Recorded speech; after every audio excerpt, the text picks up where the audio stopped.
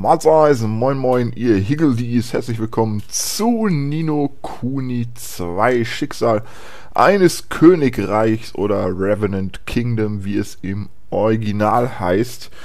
Ähm, gleich mal vorneweg, ich habe den ersten Teil leider nie spielen können, weil ich nie eine PS3 hatte. Ich wollte ihn immer unbedingt spielen, denn ähm, Ihr wisst es vielleicht, ich bin großer Fan von Studio Ghibli und ich bin noch viel größerer Fan von Joe Hisaishi. Und ähm, Teil 1 war ja noch eine, Kombi äh, eine Kooperation von äh, Studio Ghibli und äh, Bandai Namco. Und äh, Teil 2 ist das nicht mehr. Aber trotzdem ist natürlich der Ghibli-Style immer noch ganz klar zu erkennen. Und äh, Joe Hisaishi hat auch im zweiten Teil jetzt den Soundtrack gemacht und äh, das führt mich auch gleich zu dem Thema. Ich muss mal gerade die Musik ein bisschen runterdrehen. Evan, my name is Evan.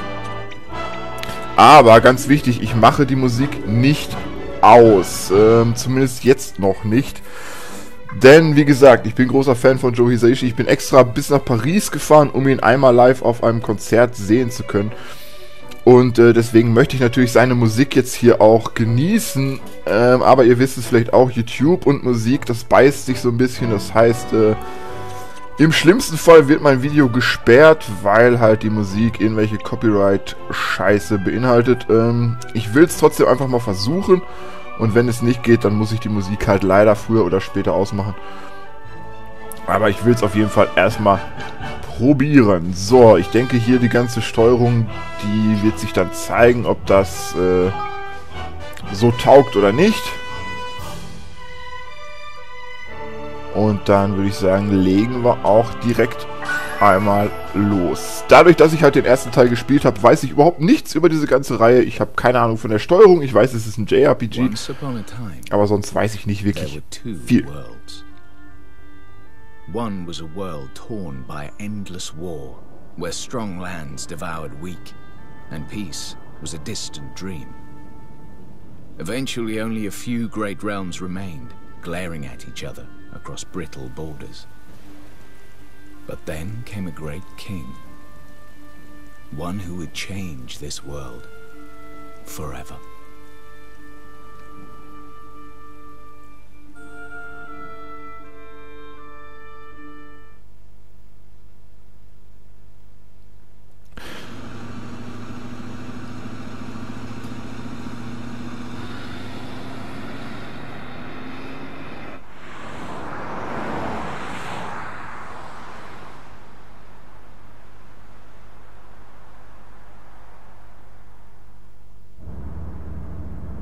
We'll be arriving shortly, Mr. President. Hmm. What in the world?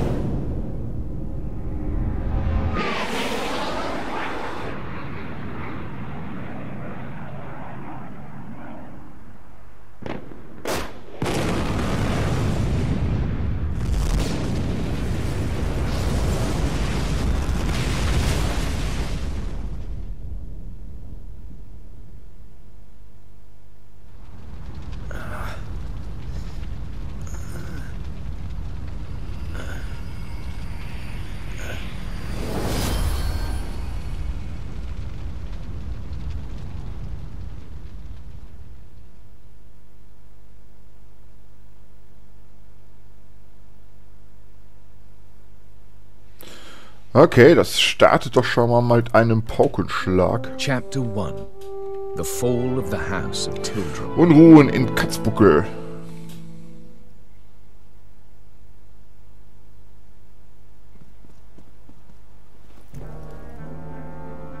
My lord, the preparations are complete. Excellent. Then let us begin.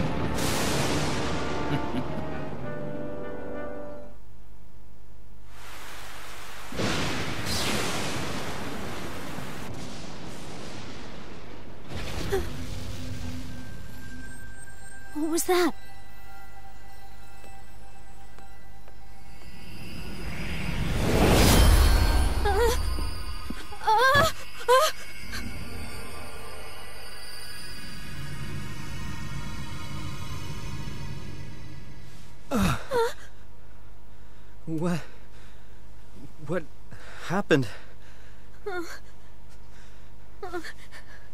I'm Evan Petty Whisker Tildrum, King of Ding Dong Dell. Who are you? Never mind who. The question is where. Huh? Well, now. Would you look at that? Stay where you are! Wait! Hmm.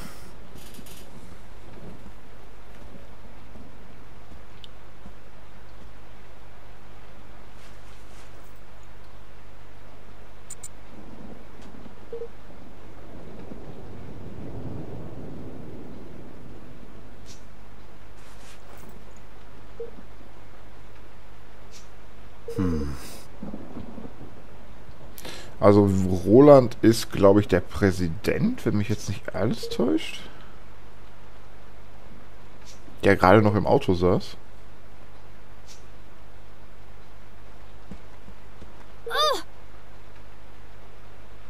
Und Ding Dong Dell ist übersetzt mit Katzenbuckel. Hm, naja, gut. Ich hätte es schön gefunden, wenn sie die Namen original gelassen hätten, aber das ist halt leider immer so, ne?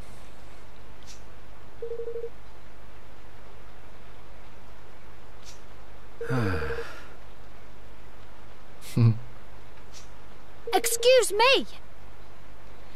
Bin der König von Katzbuckel. Also Ding Dong Dell finde ich irgendwie cooler. Aber gut, also ich werde auch die Texte jetzt nicht komplett alle für euch vorlesen. Ich denke, äh, das kriegt ihr selber auch gut auf die Reihe.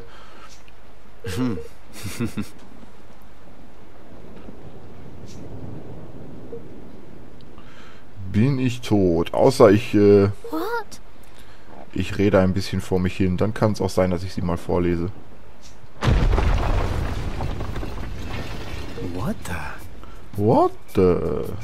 An explosion.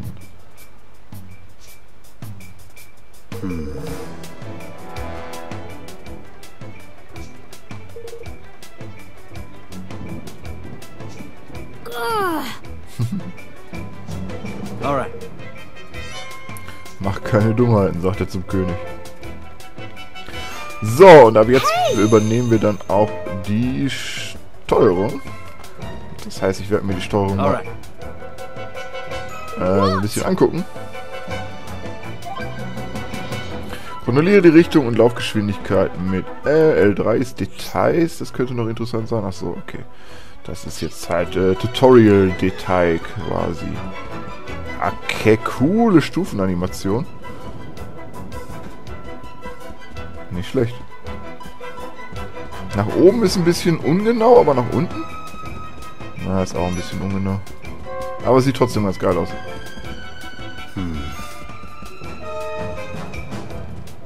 Kamerageschwindigkeit ist mir ein bisschen zu schnell, könnte man gleich noch ein bisschen dran drehen, aber äh, ich will jetzt erstmal weiter zocken hier. Fremdes Land, sieh nach, was unten vor sich geht, ist die Questbeschreibung.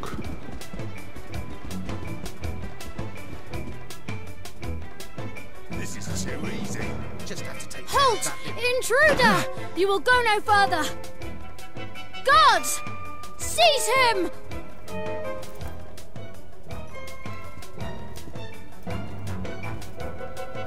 Ah!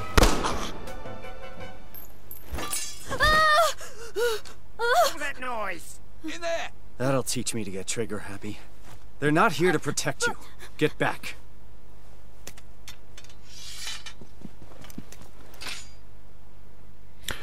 Ähm, eine Frage. Du hattest gerade eine Pistole in der Hand. Warum tauschst du die jetzt gegen ein Schwert? Jetzt mal ohne Witz. Es gibt zwei Arten von Nahkampfangriffen. Schnelle, leichte Angriffe durchgeführt mit ähm, Square und langsame, starke Angriffe durchgeführt mit äh, Dreieck. Alles klar. Okay. Also, ihr seht, das Ganze ist ein Echtzeitkampf. Das ist ja immer die große Frage in JRPGs. Wow. Äh, Echtzeit oder rundenbasiert. In diesem Fall ist es Echtzeit. Ähm, ist auch, glaube ich, eher so mein Ding.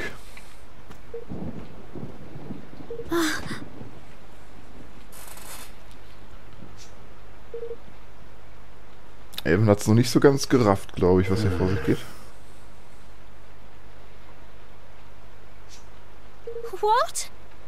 What the fuck? Hey, Das ist ein Punsch. What? Ein Punsch? Keine Bohle? Oi! Sir!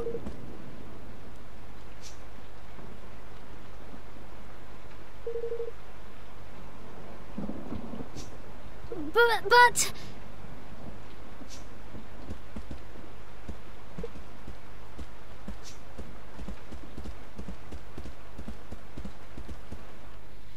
Na dann komm mal mit, du kleiner König von Ding Dong Dell.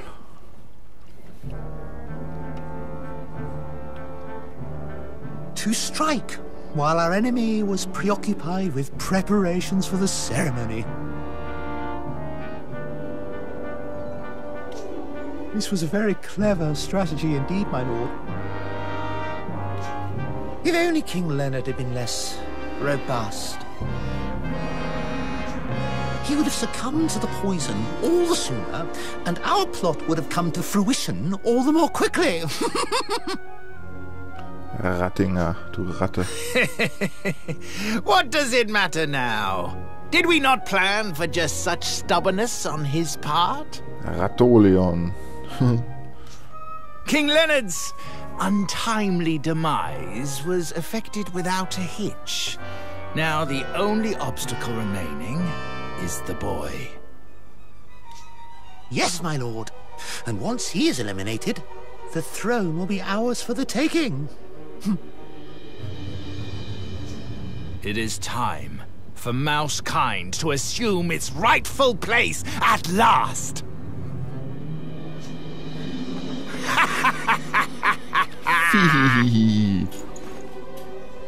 Lord Mousinger, the boy, he... Lord. Mausinger. What?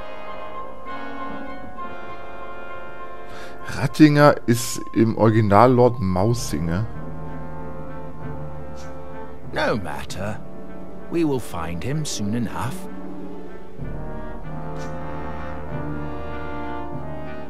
Or rather, the Black Knight will.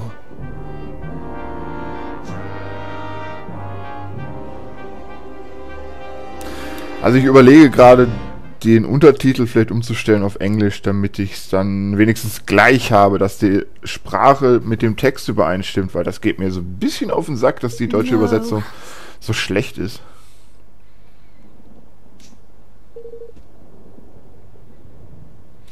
Mal gucken. Hey, Mal gucken. Rollin, rollin, rollin. König Evan oder Evan. Evan. Wahrscheinlich eher Evan.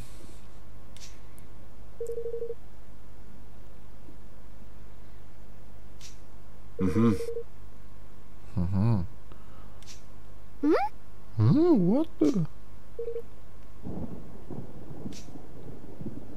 Ist er denn jetzt der Präsident Alright. aus dem Intro? Ich bin mir nicht sicher, aber ich vermute schon. Also, am besten verlassen wir das Schloss so schnell wie möglich. Das werden wir tun. Vermute ich. Flucht aus Katzbuckel.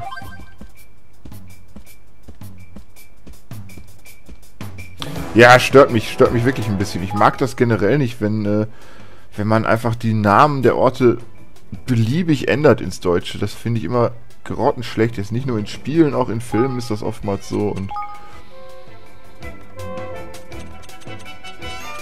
Okay, Sprache der Synchronisation kann ich nur im Titelbild machen.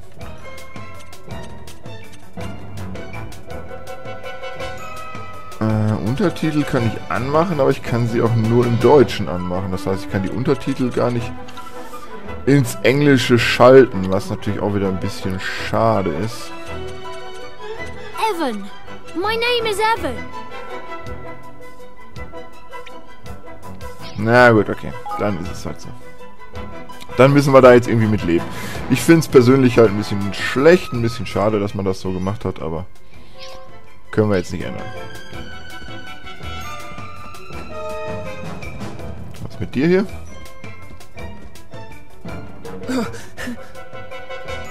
Mitgenommener Mietssoldat.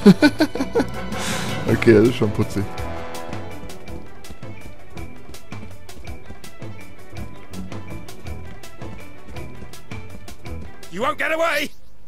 Drücke R3, um einen Gegner im Kampf zu fixieren. Angriff auf diesen zu konzentrieren. Alles klar. Alles klar. You! Dauts. Jetzt habe ich ihn zwar fixiert, aber er greift trotzdem die anderen alle an. Bam, your face. Hm.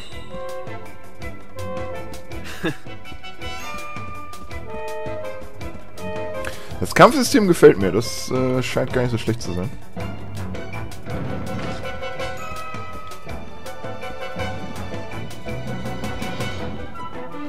Hey!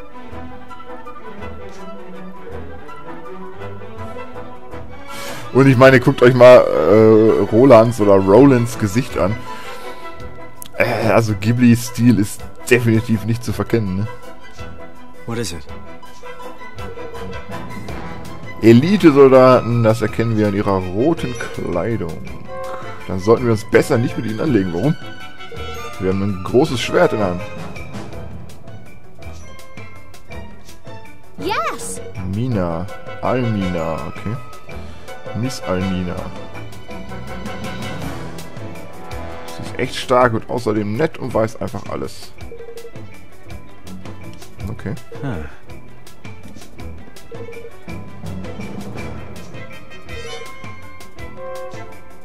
Also eine kleine Steel-Section wahrscheinlich. Hinter den Büschen her, nehme ich mal an.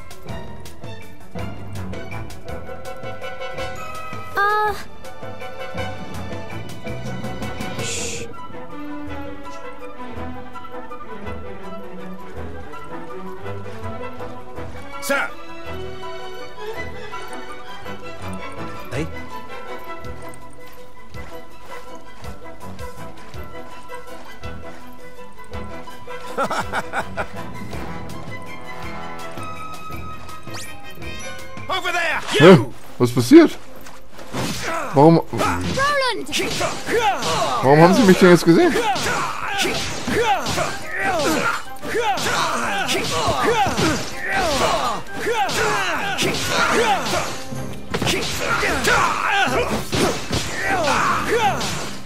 Elite-Soldat hier am Arsch, Mann. Okay, jetzt wird's dann doch ein bisschen eng.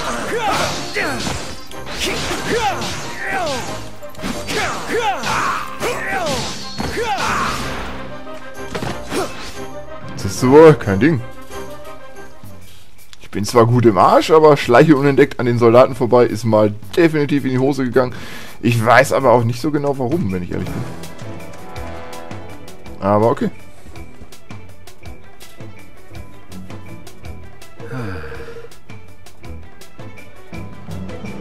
Nee, das Gefühl habe ich nicht.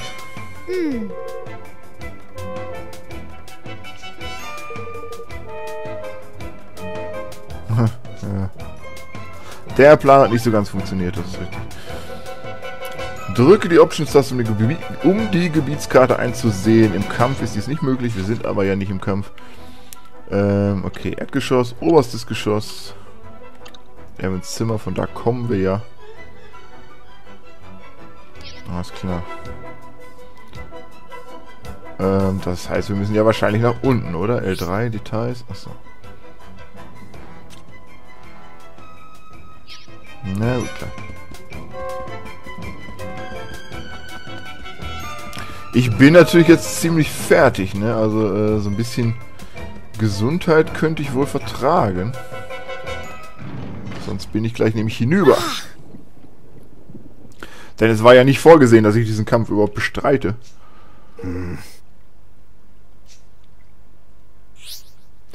Abwehren, ja, da habe ich schon die ganze Zeit drauf gewartet. Durch Halten von L1 wechselst du in Abwehrhaltung. Dadurch wird der durch Angriffe genommene Schaden reduziert, aber deine Bewegung ist merklich eingeschränkt. Das hätte ich gerade im Kampf gut gebrauchen können. Nutze Abwehren, um den Schaden von unausweichlichen Angriffen oder einer Reihe Angriffen zu reduzieren, während du auf eine günstige Gelegenheit zum Gegenschlag wartest. Muss ich es gedrückt halten? Jawohl.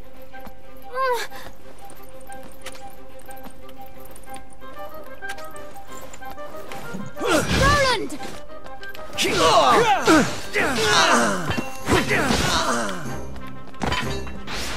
Okay. Maggie Maus. You! Ah,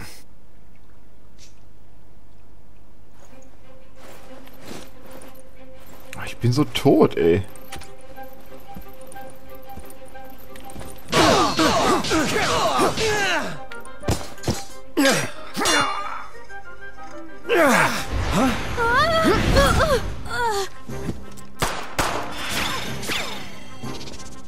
Rise!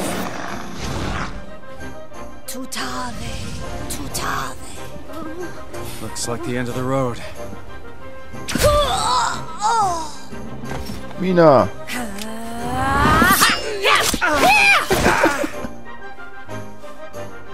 Sorry, Evan. I came as quickly as I could. Die Bewegung gerade nach vorne, die sie gemacht hat, war origi original aus äh, Nausicaa. Wo sie äh, sieht, dass ihr Vater da getötet wird im Turm. Da stürmt sie ganz genau so nach vorne, wie Mina das gerade gemacht hat. Fand ich super cool. Das war jetzt wirklich Ghibli in äh, Reinform. Obwohl ja, wie gesagt, Ghibli an diesem Spiel hier gar nicht mehr mitgearbeitet hat. Aber man hat das definitiv aus dem ersten Teil noch äh, übernommen. Also jetzt ist nicht die ri- richtige Zeit für Schwätzchen, das sehe ich ganz genauso. Ausweichen, drücken von L und L1 kannst du mit geschicktem Timing Angriffen ausweichen. Also.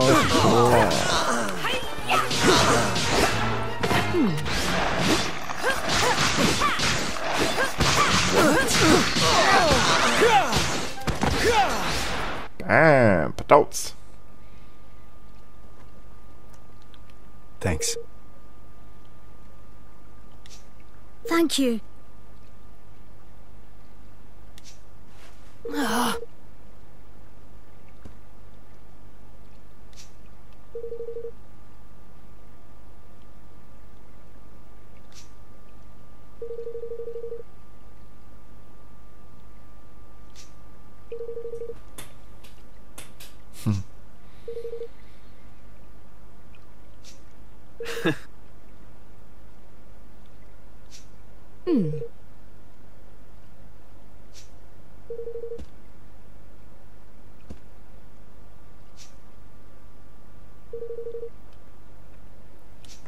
Yes.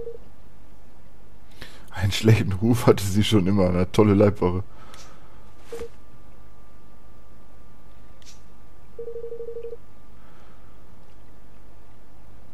Ratolion hat uns verraten. What?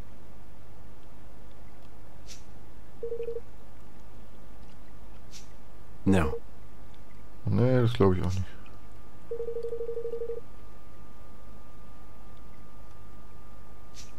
But, but... Yes. Zur Katzalisation. Ah, schön.